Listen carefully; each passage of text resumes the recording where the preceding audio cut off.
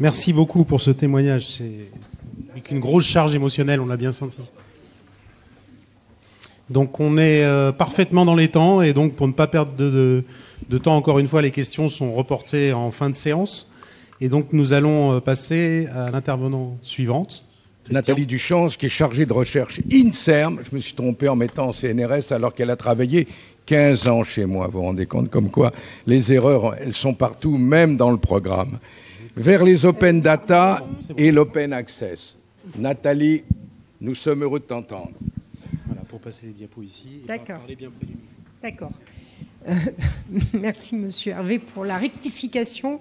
C'est vrai que ça m'avait un petit peu euh, surprise après les années passées chez vous.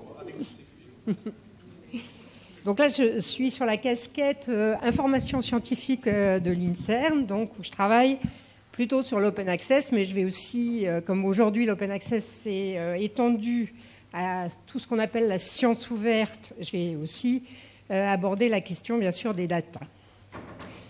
Donc la science ouverte, euh, pourquoi, en quoi elle peut intervenir dans l'intégrité scientifique euh, On peut déjà voir ça dans le rapport de Pierre Corvol. J'ai pris la citation qui concerne donc cet aspect-là. Donc les activités de recherche doivent être conduites par des chercheurs honnêtes, suivent une méthodologie rigoureuse, les résultats obtenus sauvegardés et disponibles de façon ouverte, les publications libres d'accès, telles sont les bases d'une recherche intègre et fiable. Bien sûr, c'est une condition euh, nécessaire que d'avoir accès. Les chercheurs ont besoin, pour bâtir leur recherche, d'avoir accès aux recherches des autres. Donc c'est une condition déjà sine qua non. Alors la science ouverte, c'est euh, un mouvement très très politique hein, euh, et c'est au cœur de la politique euh, en particulier européenne, mais bien sûr internationale. Et sous la présidence néerlandaise en 2016, s'est tenu un, colloque très important sur l'open science avec un document qui a été émis qui s'appelle le plan d'action sur la science ouverte il a été fait à Amsterdam, donc Amsterdam Call for Action. Et donc, dont j'ai cité un extrait, la science ouverte, c'est la façon dont les chercheurs travaillent, collaborent, interagissent, partagent des ressources et diffusent des résultats. Un changement systémique vers une science ouverte est stimulé par les nouvelles technologies de l'information et des données, et le besoin d'adresser les défis sociétaux de notre temps et l'intérêt croissant des citoyens pour la recherche promouvoir une ouverture accrue, une communication scientifique rapide et qualité, pas seulement à destination des chercheurs eux-mêmes, mais de la société au sens large, apportera d'énormes avantages pour la science et ses relations avec la société. Donc, euh, la Commission européenne a fait ce qu'on appelle un Open Science Monitor qui détaille un peu euh, tous les éléments de, tous les composants en fait de la science ouverte qui a commencé le mouvement il a commencé surtout donc avec le libre accès aux publications scientifiques ce qu'on appelle l'open access il s'est élargi à euh, l'open source euh, l'ouverture des données bien sûr, il y a toute la, ça englobe toutes les politiques qu'on va prendre autour de cela. Euh, ça intègre les préprints, ça intègre le changement du peer review, son ouverture également, et euh, essayer de changer aussi toutes les règles de la communication scientifique et bien sûr de son évaluation, ce qui va avec. Et euh, évidemment, ça englobe aussi des systèmes alternatifs de publication qu'on voit éclore assez nombreux aujourd'hui. Donc cela m'a intéressé. J'ai vu un article de Vincent Pierronnet qui reprenait euh, le kudos de Robert euh, Merton euh, pour analyser un petit peu les valeurs de la science par rapport à la science ouverte. Et j'ai trouvé ça assez intéressant parce que finalement, c'est toujours tellement d'actualité. Donc si on décrit ces valeurs qui ont été décrites par Merton, commence par ce qu'on a traduit plutôt que par communisme, communalisme, c'est-à-dire que la, science c'est la production d'une connaissance constitutive d'un bien commun. Et dans la science ouverte, euh, on dit, enfin, un des arguments forts, qui est un argument éthique aussi, là, pour le coup, c'est que la recherche publique doit revenir à ceux qui l'ont financée. d'où les moyens d'action, libre accès aux, aux, publications scientifiques, mais aussi aux autres documents éventuellement. L'universalisme, la validité des connaissances repose sur des méthodes universellement reconnues et acceptées, ce qui veut dire qu'il euh, faut pouvoir reproduire euh, les méthodes et que ça, évidemment, on en a beaucoup parlé, ça dépend de la disponibilité des données. Donc, disponibilité, ouverture, partage et organisation, bien sûr. Le désintéressement, production de la connaissance doit échapper à des intérêts particuliers et narcissiques, je qui pourraient menacer l'objectivité scientifique. Euh, donc là, on est dans la culture du partage, hein, euh, culture du partage qui n'est pas tout à fait euh, observée à l'heure actuelle. Il faut pour ça changer un peu vers des incitations, une reconnaissance, en particulier pour le partage des données, et aussi le changement d'évaluation dont on parle beaucoup à l'heure actuelle. Alors le scepticisme organisé, c'est la confrontation contradictoire mais constructive des travaux pour en éprouver la validité. Donc là, évidemment, il faut de l'objectivité et de la transparence. Et là, euh, bon, je pense que repenser le peer review, c'est très important à l'heure actuelle parce que finalement, on voit un petit peu, euh, il est très critiqué. Alors, on pourrait, alors je ne sais pas si j'utilise le mot paradigme à bon escient, mais en tout cas, euh, on était dans une période de publish or perish depuis longtemps. Et euh, Mark Parterson, qui est euh, directeur exécutif à eLife, une revue très, de très haut niveau et très innovante, a, a, proposé cette expression du share and shine, qui doit remplacer le publish et perish. Et j'ai trouvé ça vraiment très, très intéressant. Donc, la question que je me pose aussi, c'est est-ce que les manquements à l'intégrité scientifique ne sont pas en partie les symptômes d'un système malade qu'il suffit de repenser? Et là, j'ai repris une phrase trouvée dans un blog euh, par une personne qui s'appelle Matteo Cantiello, que je ne connais pas. Mais euh, j'ai trouvé la phrase très intéressante de dire que finalement le paradoxe de la science au XXIe siècle est que les recherches de pointe de plus en plus complexes sont encore rédigées et publiées avec les outils du XXe siècle. Bon, j'ai fait la traduction, c'était une phrase en anglais. Et c'est un peu vrai, en fait. Hein. on, se rend compte que l'accès aux publications, enfin à la littérature scientifique en général, elle est encore basée sur euh, euh, le modèle qui avait été euh, établi lorsque les revues étaient imprimées.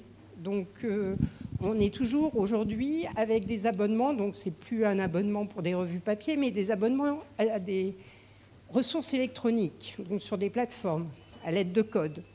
Et donc, ce qui veut dire qu'on met des barrières, des restrictions d'accès sur Internet, avec donc, si on a payé, on peut accéder.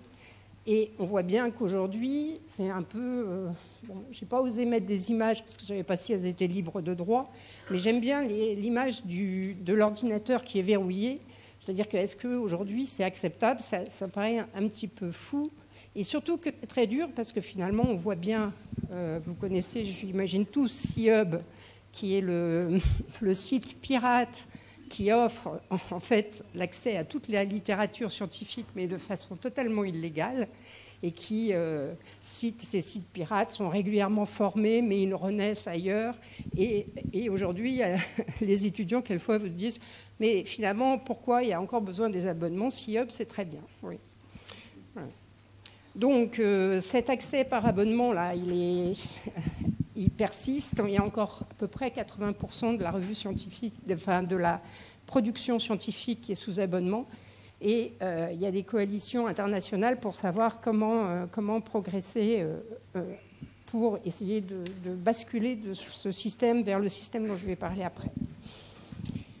Donc les, contrats de cession des droits aussi lors de la publication posent un gros problème hein, parce que d'une part, ça, on l'a dit, ça restreint la, la réutilisation. On peut, même l'auteur, les auteurs ne peuvent plus réutiliser leur, leur figure, leur, ça, entrave le, partage dans les réseaux, sociaux de recherche, hein, je parle surtout, qui, sont quand même assez utiles. Et ça restreint également l'usage des nouvelles technologies, dont les fouilles de texte et, de données, qui vraiment qui se développent vraiment de manière très importante. Et bien sûr, il faut avoir l'accès et les droits, et sinon, ça devient un peu compliqué. Donc en gros, ce, qui ne va pas, c'est ce transfert à des éditeurs privés des droits d'exploitation d'une production qui a été cédée gratuitement. Aussi, on peut se poser la question aujourd'hui si on peut encore accepter la lenteur du processus de publication. Ça, euh, à une époque comme la nôtre, c'est vrai que ça devient un petit peu difficile à comprendre sachant que dans le meilleur des cas, on est à six mois et quelquefois ça peut prendre des années. On est bien sûr passé à autre chose. Euh, le côté aléatoire du peer review, on en a parlé. C'est tout à fait subjectif que deux personnes seulement ou trois, dans le meilleur des cas, vont juger votre travail. Pourquoi ne pas euh, l'exposer plutôt et, de façon anonyme? Bon, enfin, euh, la contrainte du nombre de mots dans les publications, c'est quand même euh, assez contraire aussi euh, à la capacité de reproduire quelque chose. Pourtant, c'est très courant, même quasiment universel. Il y a aussi cette question du flot croissant des publications, du nombre de publications qu'on voit qu'il est de plus en plus difficile à gérer quand on discute donc avec euh, ceux qui, sont dans des revues, qui sont rédacteurs, on voit bien qu'il y a un flot euh, euh, qui vient en particulier de Chine, qui est très, qu'il faut gérer. Donc c'est du travail. Et puis aussi aujourd'hui, on, on s'insurge un peu aussi contre l'hyperspécialisation des revues scientifiques, qui fait que parfois on soumet un article et on vous dit non, c'est pas tout à fait dans le scope, euh, enfin dans le thème de, notre revue, ça va pas intéresser nos lecteurs. Ça n'a rien à voir avec la qualité de votre travail, c'est juste que c'est, on s'est un peu trompé de revue. Bon, voilà. Donc voilà, donc premier, premier, premier type d'action, l'open access, le libre action aux, publications scientifiques. Alors, bon, j'ai un peu, j'ai synthétisé. Hein. Donc, vous avez d'un côté les archives ouvertes qui sont en fait des, plateformes, euh, des entrepôts qui permettent de recueillir les publications scientifiques, alors soit non publiées, soit publiées. Mais euh, quand on parle d'archives ouvertes, on parle plutôt euh, de publications, enfin d'articles déjà publiés, sinon on parle de serveurs de préprint. Mais en gros, c'est des plateformes un peu similaires. Donc les archives ouvertes, c'est très bien pour préserver, c'est un lieu de préservation et c'est un enjeu très important pour toutes les institutions, parce que bien sûr, comme euh, maintenant on s'abonne par des... Euh, enfin, on a des accès électroniques, euh, au bout de quelques temps, on perd complètement l'accès aux archives, par exemple.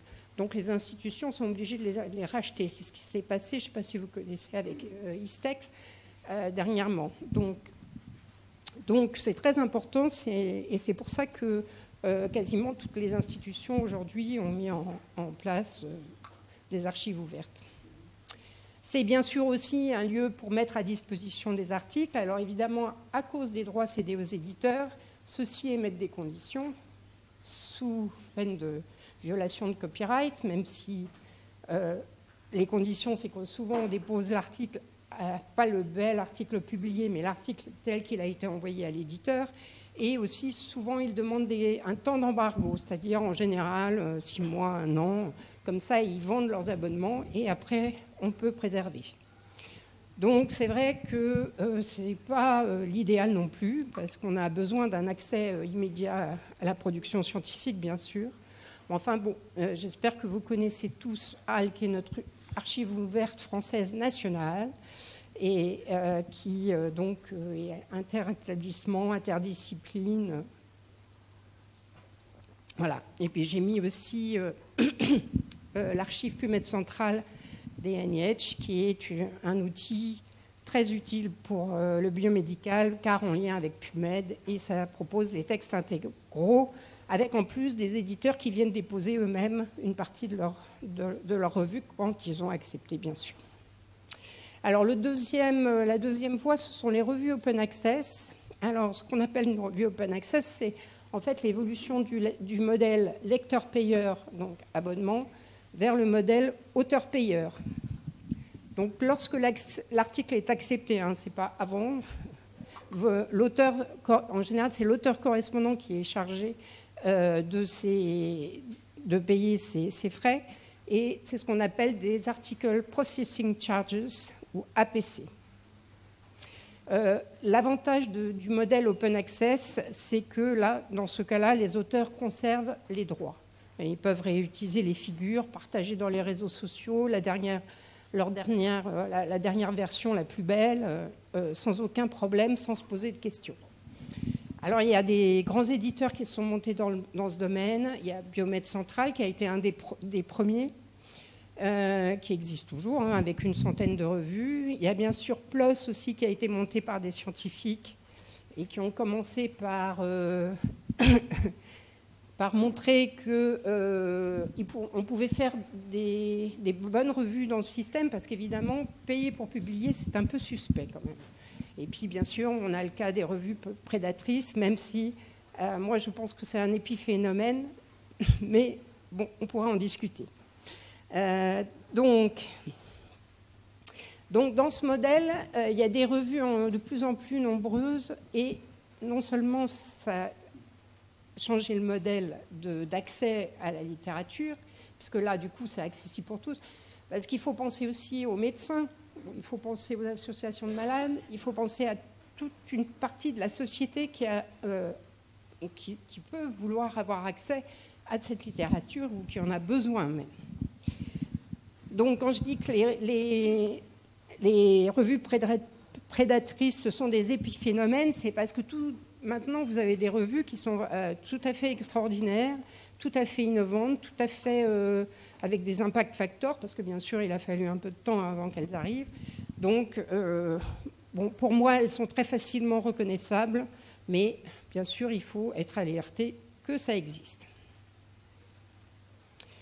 Alors, le, le peer review, on en a déjà parlé aussi, il s'agit d'ouvrir la boîte noire euh, parce que tel que pratiqué à l'heure actuelle, en fait, euh, il est censé en fait assurer la qualité de la recherche, mais euh, on, peut se, on, peut se, poser des questions quand même sur, sur, le fait qu'il y arrive, et, et, on voit bien que ça n'empêche pas les manquements à l'intégrité scientifique. Et le problème, une fois que c'est finalement publié, on a l'impression que c'est validé et on ne se pose plus tellement de questions pour remettre en question justement.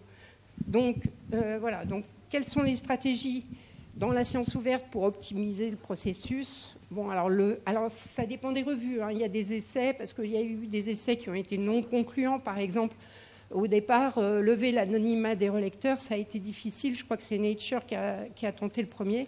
Et du coup, ils n'arrivaient plus à trouver des relecteurs. Donc, euh, en fait, le mouvement se construit par étapes avec une, maturation nécessaire du, changement. Et, donc, au bout d'un certain temps, ça arrive. Donc, rendre, rendre, accessibles les commentaires des relecteurs aussi, ça c'est intéressant. Par exemple, Biomed Central le fait. Et euh, reconnaître ce travail comme un vrai travail de recherche, euh, éventuellement qui pourrait être attribuer euh, un identifiant pour pouvoir les citer. Bref, euh, avoir aussi une reconnaissance de ce travail du peer review, car euh, aujourd'hui, on peut dire que c'est quand même, tout le monde est très occupé. si on veut bien faire le peer review, c'est quand même très long. On n'est pas toujours, on se sent pas toujours suffisamment expert. Enfin, bref, il y a beaucoup de questions autour de ça. Donc, rendre le travail des relecteurs euh, collaboratif, euh, c'est aussi assez intéressant. C'est ce que fait Hilary, on en a parlé aussi.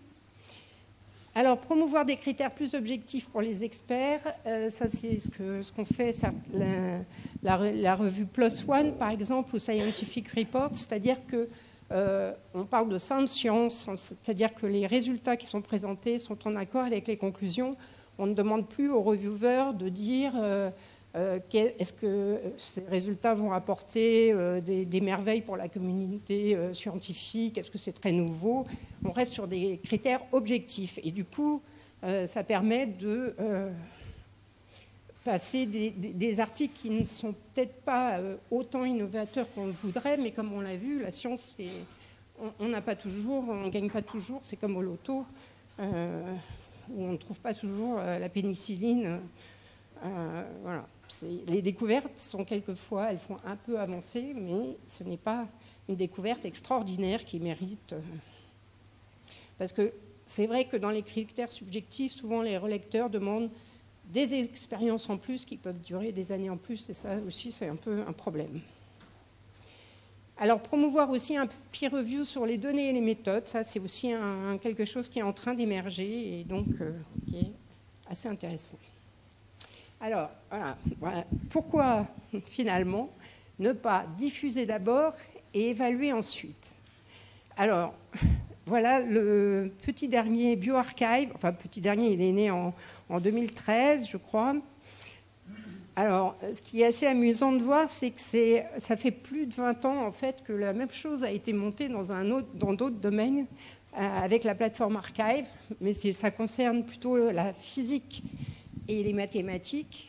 Et donc, vous voyez, une vingtaine d'après après, on se dit oh, super, on adopte le même système. Alors pourquoi? C'est vrai que biomédical est très, a toujours été très attaché euh, donc à la relecture par les pairs, aux facteurs d'impact, et au fait que si on publie euh, sur euh, un site, les revues voudront plus vous publier. Donc tout ça, c'est en train de changer. Donc euh, là, c'est une plateforme sur laquelle donc on poste, les auteurs viennent poster gratuitement un article et donc, il y a une vérification euh, assez succincte euh, pour voir que c'est un, article scientifique, qu'il n'y a, pas de contenu offensant ou dangereux. Euh, vérification aussi de l'absence de plagiat. Et donc, en un quelques jours, votre article est diffusé sur, sur la plateforme BioArchive. Et ensuite, vous pouvez simultanément le soumettre à des revues. Donc derrière BioArchive, il faut voir pourquoi ça marche là maintenant, parce que ça commence à vraiment euh, attirer beaucoup les chercheurs. Euh, il y a bien sûr derrière une communauté de scientifiques de renom qui se sont regroupés sous le nom de l'initiative ASAP Bio. Il y a le label bien sûr de Cold Spring Harbor Laboratory. Je pense qu'il y a des domaines qui ont besoin d'un label, ça c'est sûr. Il y a, euh, comme ils l'ont fait avec PubMed Central, ils sont allés voir les éditeurs, enfin les publishers, pour euh, une participation. Et donc c'est pour ça que vous pouvez à la fois poster sur BioArchive et soumettre à une revue. Alors ce sont principalement des revues open access pour une soumission directe dans BioArchive, mais vous pouvez aussi soumettre à une revue euh, ailleurs après avoir vérifié qu'elle acceptait que vous ayez déposé sur BioArchive. Il y a un site pour ça, je ne l'ai pas mis là, mais voilà, qui s'appelle Sherpa Romeo. Euh, donc, euh, oui, donc l'article reste disponible en fait pendant tout le processus de, révision. Euh, donc, l'objectif de BioArchive, c'est vraiment la diffusion rapide de nouveaux résultats de recherche. Alors, voilà comment se présente un article qui euh, là a été publié et donc en rouge apparaît euh, euh, le journal où l'article a été publié avec le lien, avec l'identifiant pour le lien direct vers la revue. En fait, vous avez tout ce qu'il faut, l'histoire de l'article avec toutes les dates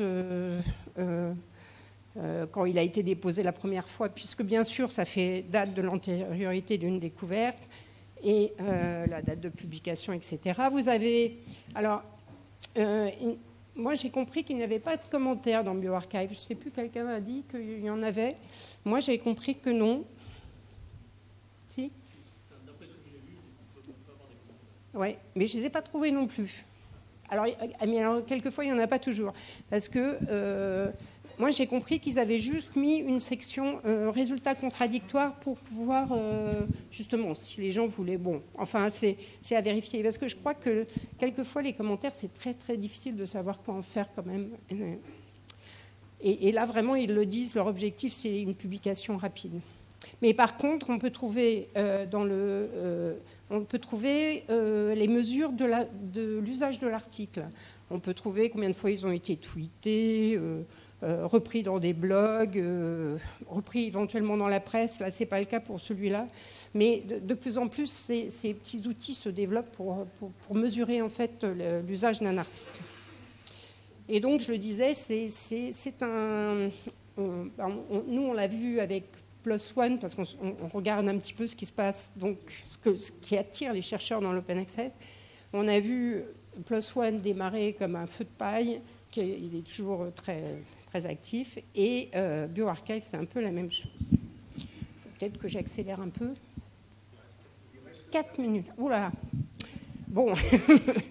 Bon, euh, donc les, je croyais pas être aussi longue.